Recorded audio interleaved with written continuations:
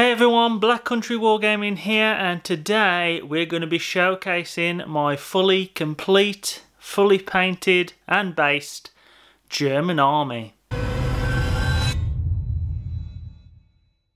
So yeah guys, here we are. This is the big one. This is the one I've been working four, five months. I believe it's nearly five months actually. I've been actually working on this. So, of course, this is for the 1 in 6 gaming group. Uh, gaming board that we have got running on December 2nd, which is my birthday, at the War Games Club. War Games show in Halesowen. And I'm doing all these Germans, of course, so I've got all these Germans fully done. I'm also going to be doing some Americans. Uh, I've still got a few Americans to paint up, tank wise, and then I've got to base every single miniature exactly like these are done. Yeah, is uh, I've got 12 weeks to do it as well, so the countdown is on basically, and I need to get them done. I need to quickly get through them and make them look as good as these guys right here because I need two forces to face off one another. Do need to rely on other people for terrain, but uh,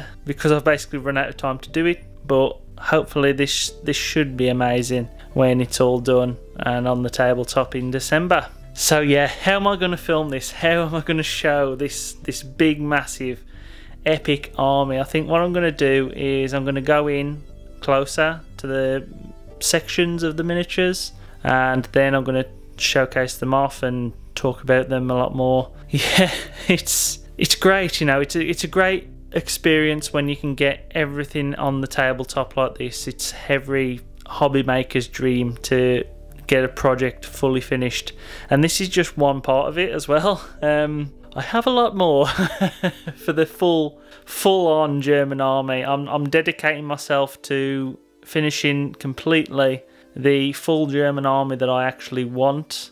I'm also dedicating myself to finishing the full American army that I want. And then when I've eventually got those done, I'll go on to probably another army, maybe the British after that or the Japanese. I'm not sure yet, but I'm not touching anything bolt action until I actually get all these fully complete. I really do need to get everything done basically. I want a massive, massive German force. I mean, this is 4,000 odd points, this right here.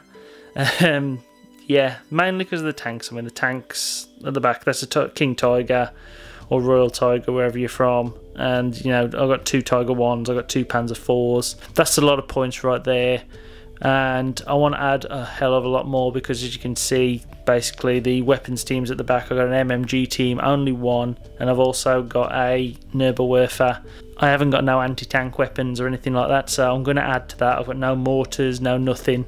So everything needs to be added to.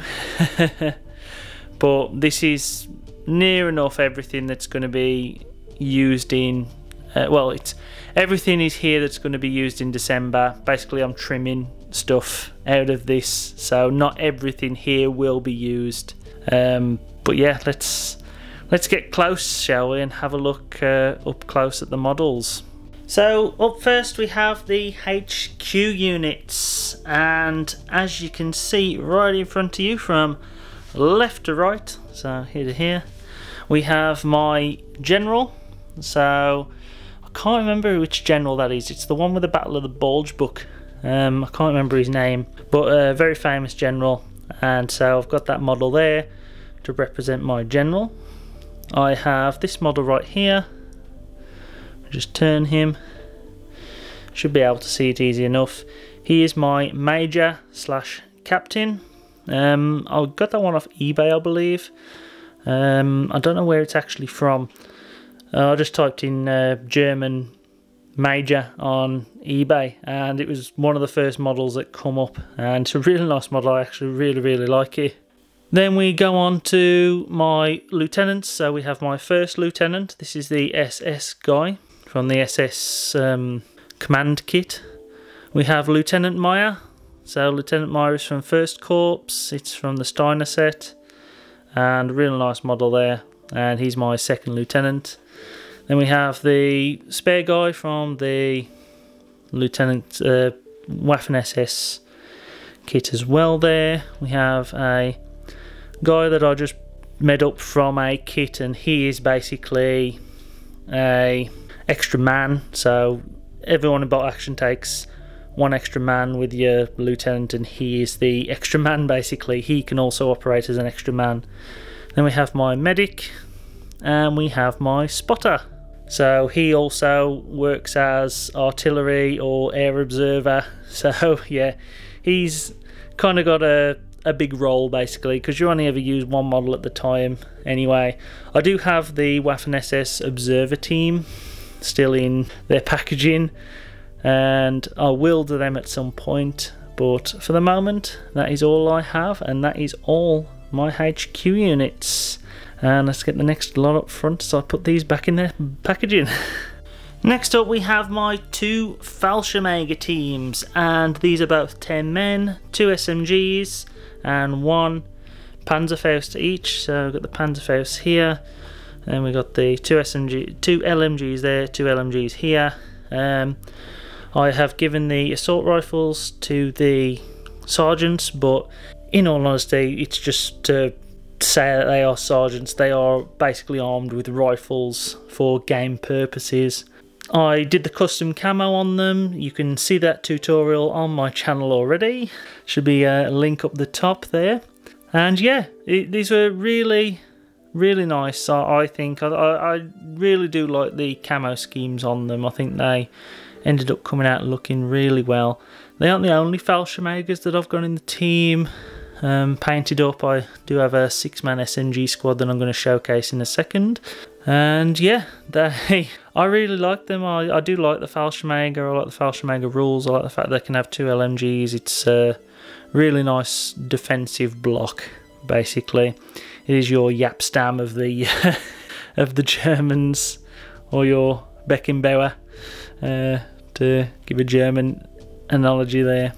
So without further ado, here we go, looking at the uh, Fallschirmjägers with SMGs. As of course you can see, Michael Caine here from the Eagle has landed. And that's what these are basically. I done five of them with the SMGs from the British um, airborne kit. And so they have the Sten guns, and it's a nice little nice little squad you know themed just as the uh, eagle has landed. Was going to originally do the british uh, paratroopers because that's how they dropped in but they kept their german uniforms underneath. And so i've basically made them look like they have their german uniforms underneath. Uh, that's the thought process behind it.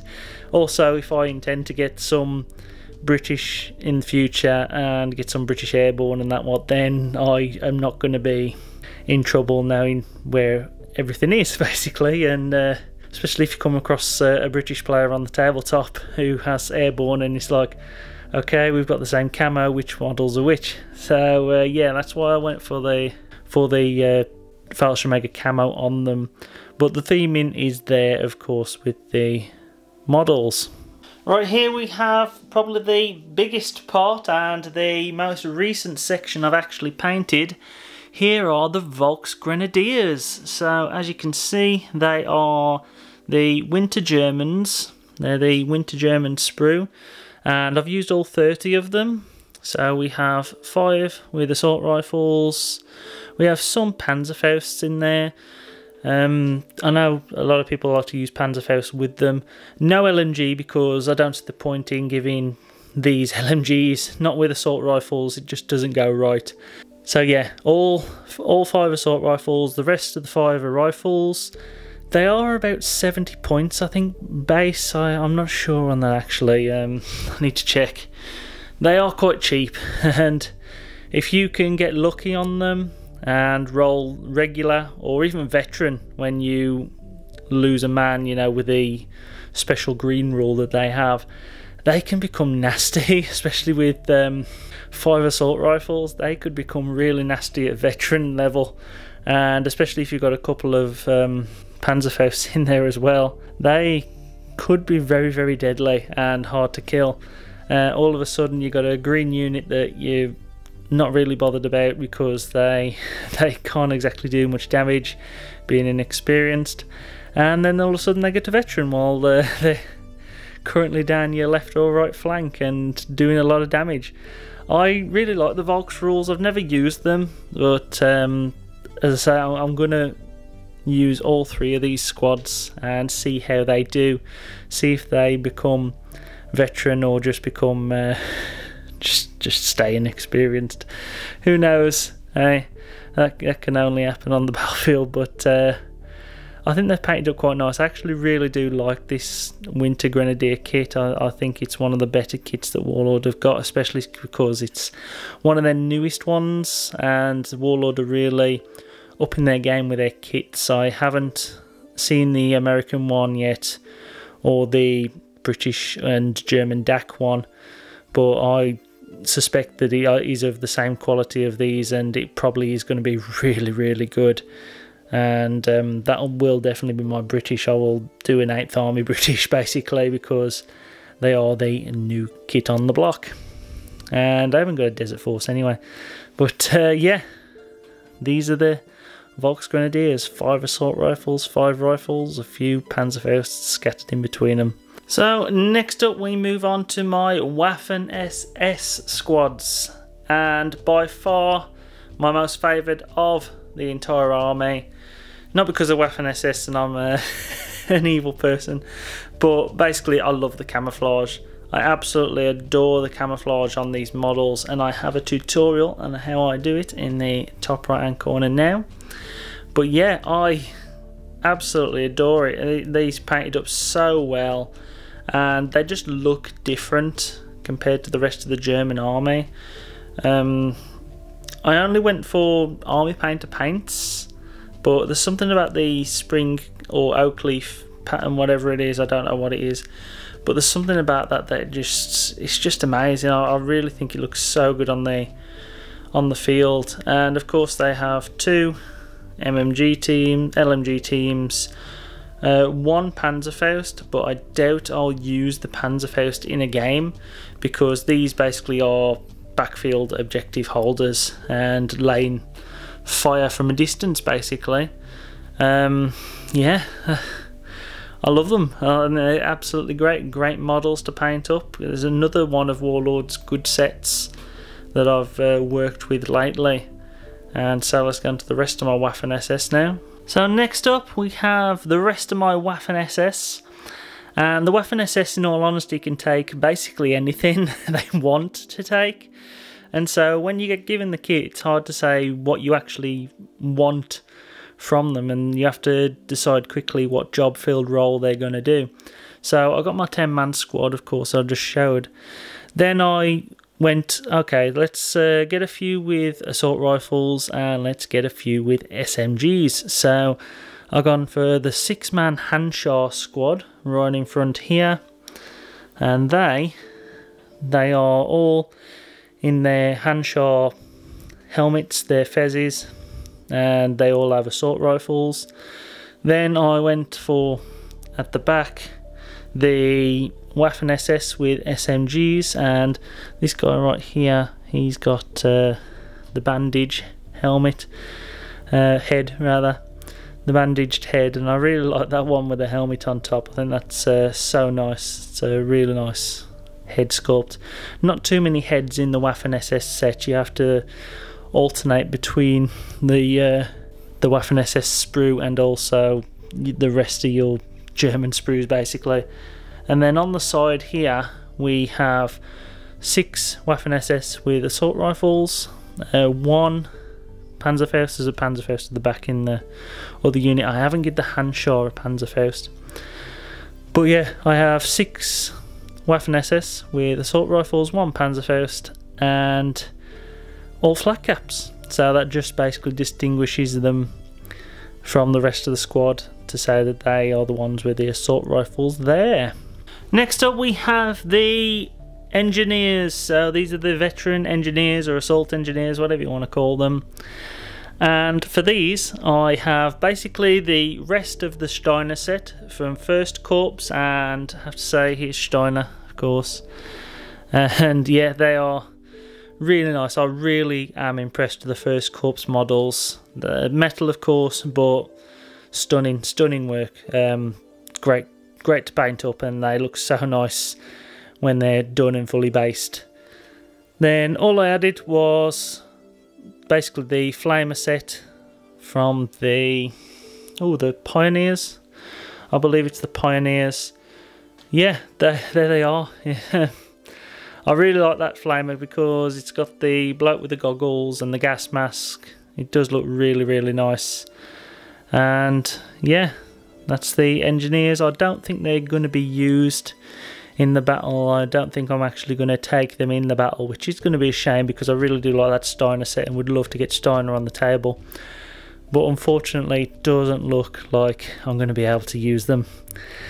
Anyway, let's uh, move on to the backbone of the army now. Let's move on to the Heer Grenadiers. So, here are the contents basically of a Heer Grenadier box. Um, not much to say really. So, 8 man crew with one LMG loader and one Panzerfaust in each. But I don't know if I'll include the Panzerfaust actually. Starting to think about uh, German squads and do they actually need Panzerfaust, especially if they've got armour accomplishments and also if they have Panzerfaust in other squads? It depends what you want them to do. I know that they are basically a sit back unit, these, because they will sit back and just defend. That's what they're meant to do. Uh, shoot from distance, basically. I find the Germans to be a very defensive army anyway. But uh, yeah, these are the backbone. Just eight guys with a LMG. I really like that loadout. For me, no extra points pumped into them, just straight up. I think that's about 100 points regular. Um, I know, yeah, you probably will take them at veteran. If you do take them at veteran, a lot of people seem to go down to seven man squads. Yeah, you're just number crunching at that point, really, to see uh, how you can maximise your squad. But I've included the camo on the ponchos, so all the ponchos basically have camo. I've tried not to get as many that many ponchos in. In all honesty, I've tried to stick away from those because I wanted to just have the feel of a regular German force. And I've only got the three for now. I will, of course, be adding to those at some point. I, I want six at least. So that's like two boxes of uh, German grenadiers. Do have a lot left over anyway. but yeah, that's uh, that's the backbone of the force right there. So it's on to the teams now because we're basically done with all the infantry there. And this is the last of it before we get on to the uh, juicy bits, which is the vehicles. But we have a sniper team, and so we have this guy here, this is the sniper, and we have a spotter, who can also double up for a spotter for another unit if I don't use the sniper. Now I tend not to use the sniper that often. I often find snipers either do good or just do nothing the entirety of the game. We have my MMG team, which in all honesty, who really takes an MMG? I have to say it, but uh, no one takes one. But anyway, I like that pose and I thought it was nice um, getting it in that position. It's all plastic, of course uh, various kits all mashed together just to get it into that position. Very nice kit bash, if I do say so myself. I enjoy kit bashing anyway. And then we have the Nebelwerfer, which is to be believed probably the hardest kit ever in the universe to build. it's just nasty. It's it's not very nice at all. Um, yeah, I know I have one now for Werbelin Nerfles, but uh, it wasn't very nice. And I, until there's a plastic one, I really wouldn't recommend anyone get one. I know they're good on the battlefield in second edition because of what they can do. Uh, the crew went together nice. I can't moan about the crew. The crew are actually really good. It's just that kit, man. There's just something about it. It just didn't go nice whatsoever. But uh, it's done anyway. What's done is done and painted, and hopefully it won't break. so with that, let's get on to the vehicles, which I know a lot of people are probably here for anyway. So yeah, let's start with the lesser of the vehicles and work our way up to the big cats. As you can see right in front here, these are my Hanomags or half tracks, whatever you want to call them. Uh, I have two just plain, and then I have the one which with the PaK 40, I believe it is, and that is from Band of Brothers. Yeah, that is actually one of the first vehicles I ever painted. Uh, so you can tell the differences there.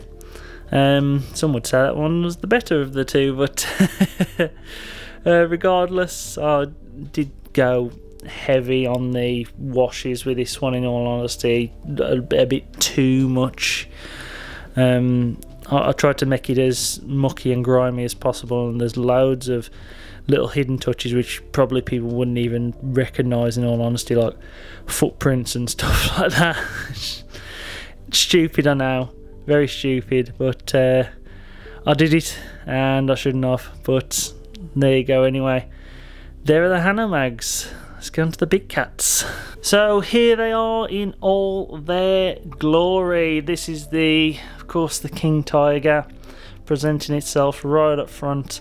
We have two Tiger 1s. One is the 007, the other is the 131. And we have the Panzer 4 with the number 4 on it because I was trying to be funny. And doubling it, the Panzer 4 with the 8 on there. You can see all of these tanks in a better video uh, in the top right. I'll link it to that one.